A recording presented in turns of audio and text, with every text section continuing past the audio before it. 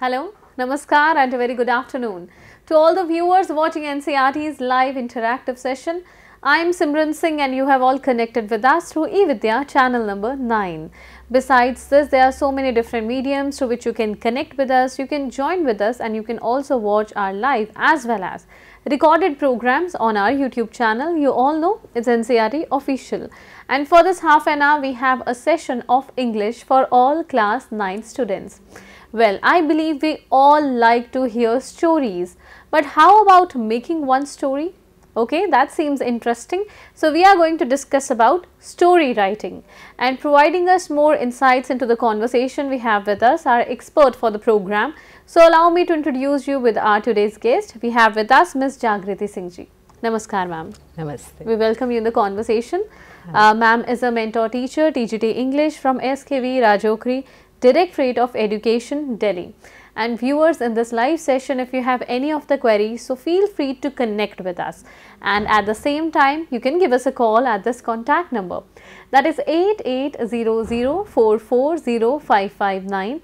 Besides this, all the class 9 students can connect with us and also can write to us through this mail ID flashing on your screens. It is dth.class9 at the rate ciet.nic.in. So, viewers, let's begin the conversation. Try and understand more about story writing. So, ma'am, I think information is best told in stories. Yes. So, what are we going to discuss today? Is it going to be easy, difficult? Tell us more about it. So, it may be difficult, but we are going to make it easy for the students. Perfect. So, we will be talking about story writing as told by Simran that it is uh, a habit in everyone that we make up stories and tell our stories to everyone. So, we will be writing them today. So, we like to hear stories. Today, we are going to create one. Yes. Okay. so, uh, let's begin, ma'am. Okay, so let's move to the slide. The we will be talking about the elements today, the structure of the story and the tips and some examples that you will see and they will help you write better stories and the marking part in the CBSE. So, uh, talking about the elements. So, what are the different elements in a story writing? So, elements we will be discussing later. The All right. first and uh, the first and foremost thing that we need to keep in mind is the structure of the story. All right. And it has to be in an order. Okay. So, we can see on the slide there is a picture and we have some pictures, six pictures that have to be arranged in an order. So, I would. Re request you to please try and Sure, arrange sure. them. I love to. And um, okay, so let's start with this. Let's have this picture on the screen so our viewers can also make a view and a guess of their own. So the first one will be uh, preparing a dough. I think that is E. Yes, Okay, then the uh, second one will be uh, C. yes, correct. Then it will be uh, F. Yes, Okay. cutting the cookie dough. Then uh, keeping it in the oven, it will be B. Yes, Then it has to be A. And Yes. D is the final product. So am I correct? You are very much correct.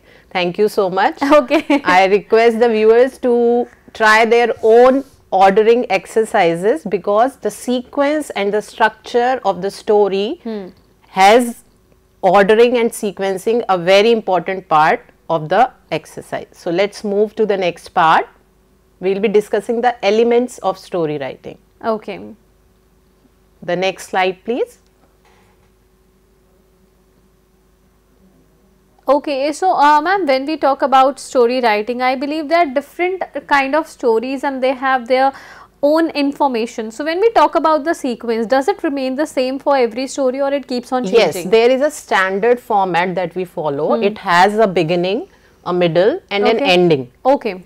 and it has different elements that we may discuss in details if we can move to the next slide. First we will try and see pictures of th- two stories. Okay. They are part of the class 9 textbook Mm-hmm. and I guess the students will be able to guess the name of the stories. Also you have to tell which one is your favorite story. Can you guess the stories from the pictures? Okay. Uh, see, the, the second one I am able to guess. Okay, I think it is related to something, uh, The Last Leaf okay. by O. Henry, maybe. And uh, the first one, okay, that's a little girl. Yes, and your guess is correct. This is the last leaf by O. Henry. Hmm. So if you remember the story, can you tell me what happens in the story? Maybe a outline. Okay, I might not be completely correct, but I'll try my try. best. So I think it's a, it's a story of uh, hope and inspiration. So I believe that there's one this last leaf that remains on a tree and somehow a person uh, or maybe this tree impersonates the personality of a person. So that uh, as long as the leaf will survive, there's one person in the story, one character that is going to live and towards the last I think one of them dies either, either the character or maybe the painter. Yeah. So you are a bit bit Close. correct. Yeah, close in the guess. uh, the story is about a painter who wants to paint a masterpiece, and the masterpiece is the last leaf that becomes a source of hope for the girl who is almost about to die, but she lives and the painter dies. Okay. And The Little Girl by Katherine Mansfield, it is a story about a little girl who craves for her father's affection but gets uh, gets scolding every time and finally she understands why the father behaves like that. So Okay. it is a story about relationships and family. So let's move to the next part. What is story writing? Let's go to the slide and see. Story writing is a creative, imaginative, effective use of writing skills. Writing a good short story requires techniques and planning for the elements and structure of the story. So, it requires a good amount of planning and understanding of the structure and format. Story writing includes many elements like a character or maybe two characters, setting, plot, point of view and theme. So, let us move uh, further how we can use this to write our stories. All right, and uh, ma'am, before proceeding ahead, I think um, when we talk about stories, the backbone of the story, I believe it's the character. Is yes, it? Yes, it so, is. it's the importance of characters. How many characters can be included? Is there any limit to it? That's a very good question. So, mostly there are two types of characters in a story. One is the antagonist uh, that we know as a bad guy, Hmm. and the important one is the protagonist, who is the hero of the Main story. character of the yes, story. main character.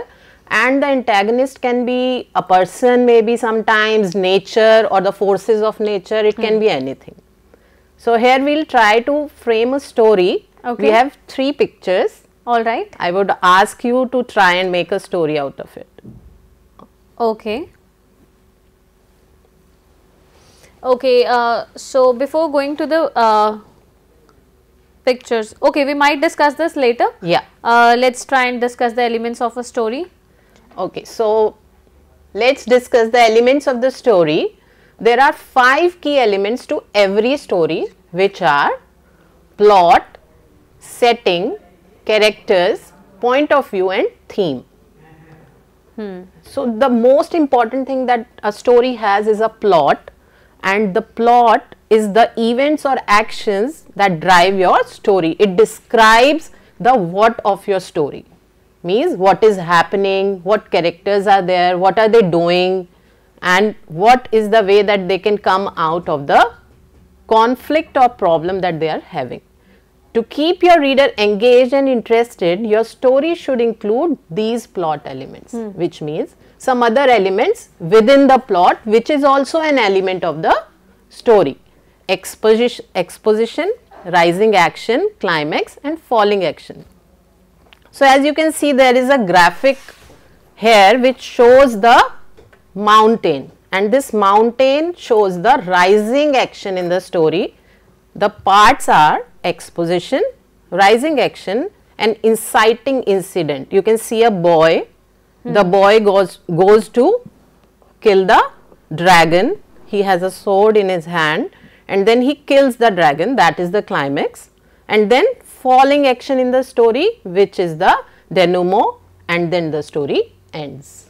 Okay, uh, so we got to know the elements of a story, and there's this exciting word that uh, caught my attention dynamo. Yeah. what is it? Am I pronouncing it correct? Uh, denouement is basically the uh, conclusion of the story or when the story is ending. Okay. So it tells us about what happens to the characters at the end of the story when they have overcome the problem or the conflict in the story. All right. And uh, what do we call that part that makes a story, um, I believe, really more interesting?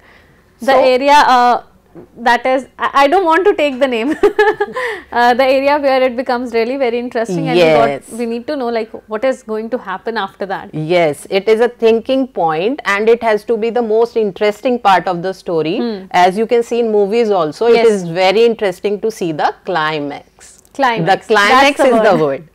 So, Okay. climax is where it gives chance to the character to show his or her qualities the best.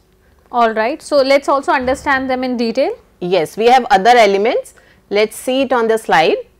Setting. So, what is a setting? Setting of your story is both the physical location and point in time which your plot takes place. So, is it a village, a school and is it a school in older older times or school in maybe the pandemic times so it hmm. can be different then we have the characters which are basically the most important part of a story how you create your characters that is very important these characters are the people animals beings or personified objects that drive the story so it can have many characters as we already talked two are the main types of characters the Protagonist and antagonist. Yes, very good. So, going back to our examples, we can see uh, the last leaf, it had which characters? The two girls and the Painter. painter. And in the little girl, we have the little girl, her father, her grandmother and her mother.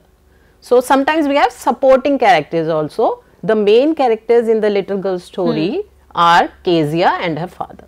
Okay. So, and then I yeah. believe there's also a theme of the story. So what is the basic difference between the theme and the plot? See, the plot is basically giving the structure Yes. theme is the underlying message that we want to convey whether Okay. the story is about the family or is it an adventure story Okay. the period of time that we want to focus upon Hmm. as we can see a story's theme is the message woven throughout it let's see on the slide often about important topics such as human nature life or society it is deeper than the plot or summary Okay. And it can answer questions like what does it mean to be a family in the story little girl we can see what happens in their family what are the dynamics between her and her father So I think uh, stories are also of different types. Sometimes they are fictional stories when we Yes. concoct something on our own, and uh, sometimes they are non-fictional. Maybe uh, they are derived from a real life incident. Do we also call them stories? yes sometimes they are called biographies and autobiographies but most of the time stories are related to fiction some kind of some level of fiction in them Has got some narrative in them. Yes, narrative that is based on some fiction. Maybe a bit is taken from real life and we try to exaggerate some things and make some things smaller so that the focus is Hmm. So not. that's an amalgamation of uh, the production aspect and how to present it to the viewers. Exactly. So then uh, comes the point of view, which is also an important part. We may Okay. move to the previous slide. Point of view is the person who is telling the story. Hmm. So it may be a first person, which means I am telling my story. narrator. narrator i can be the narrator or it can be a second person Okay. which happens very rarely most of the stories are in third person Okay. that means the narrator is outside and he or she is not part of Okay, the okay. characterization Someone let's is move on. speaking the lines, or maybe there's a voiceover in the story going on. yes yes exactly All right. So, what are certain do's and don'ts while writing a story? yeah so we come to the tips now. Because it is part of the syllabus and we need to focus on what is important to have and what is not to be included in your story. And you have a word limit which we know we have a word limit of 120 to 150 so we need to compile all the information give it a structure of beginning middle and ending hmm. and still make a good story. So here are the tips. Be creative the start or the hook should be catchy which means which is uh, most of the times given in your question paper in the question only the hook or the start is given the name of characters is introduced or maybe the situation or the place and the theme is introduced Long time back. yes yes uh, like samir and shikha was sitting in a park suddenly So Yes. this is the hook. Now what happened suddenly that relates to the theme. Hmm. If the theme is adventure, you can make a story out of it which fo- focuses on the adventure. Sure, sure. So the next thing is the characters should be lively and relatable. So you, you can be creative, but they should have some element of real life. It should look that these are the people who are like us. And then try to keep a uniform narration point of view, which means hmm. it should be either first person narration and the most most common one is the uh, third, Third person, person. narration. So just keep it uniform throughout. And dialogues, you can include one dialogue or two, not more than that, and they must be meaningful. Like if you want to create an impact, something suddenly jumped into the story and you can create an impact by wow, what happened. So these are the dialogues. Then you can decide the plot based on the hints given in the question. Then create interesting twist which gives an interesting climax and the last one is always conclude the story. You should have a proper conclusion where we know what happened to the characters and how the problem was solved. And sometimes uh, do we also leave the stories to a question? Yes, sometimes it happens. We have a story, The Lost Child, in books of class Yes. 9, where we don't know what happened to the child. He was lost in the fair, but we don't know. So, we have an option of creating our own endings, which is Even that's quite interesting. Yes, that is even more interesting. okay, so how can we write one story? That is important. Okay, for that exercise, I have a table which is showing on the screen. I have suggested some settings, characters, point of view, and theme. So, in settings, we have the options of a village, examination room, a train, and characters can be mother and child, friends, Samir and Shikha. So, I'll just give an example hmm. from myself, then maybe you can try if you Sure, like. sure. So there is a mother and child in a village, hmm. but I'm I'm narrating this story as a third person. So once in a village, a mother and child lived happily. Hmm. They did not have too much food to eat. Most of the time, the child felt hungry because their fields did not have any crops. Okay. It had not rained for a long time. Hmm. But one fine day, small droplets fell on the fields and the crops started to germinate. And Okay. this gave them hope that they will get some harvest this year hmm. and they will have a lot of food to eat all through the year. Wow. so, this is one way that you can create a story. of course. Uh, I think this is an interesting way to create a story. Uh, Yes. Where orally you are able to speak a lot, and even when you are trying to write it, uh, you need to know certain nitty gritties around. Yes, for the syllabus, I would like to focus that you have to add certain details as well to complete your word limit. So I believe that our viewers can also uh, concoct a story of their own. They can try and come up with something. Yes, this is for the exa- uh, practice only. You can take a screenshot of the table maybe and you can use it for your own practice. Also, we have the marking scheme in the latest slide, which focuses that you have to give a title to your story. This is the most important part. Part it will give you one mark, and the content which has a sustained clarity. It is given 2 marks and then organization which we talked about the, The structure and, and the, the sequence. structure. yes that gives you 2 marks Okay, so that is so- all about story writing So I believe that these are certain important components whenever we want to write a story. But of course, it's about imagination. And when we have to write our very own story, uh, we can try doing something different, something creative, imaginative.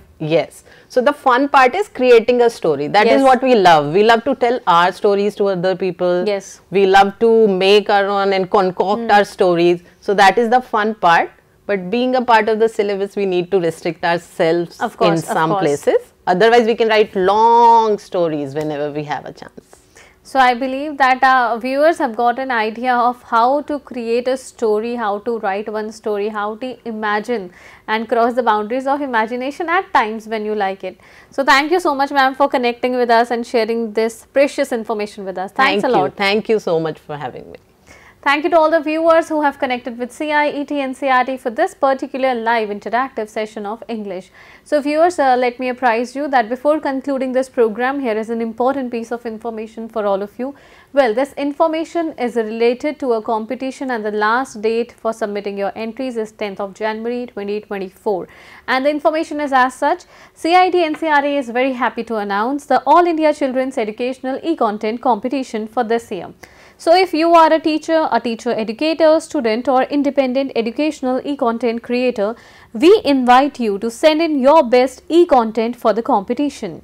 For more details and the registration form, you can visit the activity section of our official website that is www.ciet.ncert.gov.in or either scan the QR code that is right there on your screen.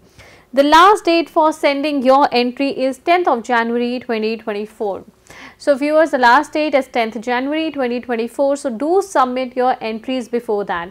Thank you once again for connecting with us and this is a wrap up for our program of English. And next up we have our 5 days online training program. So stay connected and stay tuned with NCERT official and also on PM eVidya channels. Namaskar.